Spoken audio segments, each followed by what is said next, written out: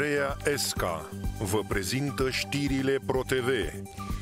Bună seara! De câteva ore România trece printr-o situație fără precedent în istorie. Ludovic Orban, miniștrii din cabinetul său, dar și cei din conducerea PNL, au intrat pe lista celor suspecți de coronavirus. Totul după ce au intrat în contact cu un senator liberal infectat. Guvernanții s-au autoizolat și au fost testați exact în momentul în care urmau consultări la Cotroceni pentru desemnarea unui nou premier. În aceste condiții, discuțiile s-au purtat telefonic, chiar în plină criză, Claus Iohannis l-a nominalizat tot pe Ludovic Orban, care este acum izolat într-o vilă de protocol. Și într-un efect de domino, sute de parlamentari, funcționari, dar și jurnaliști care s-au întâlnit cu oficiali în ultimele zile au fost sau urmează să fie testați și vor sta acasă până la aflarea rezultatelor. Vestea că senatorul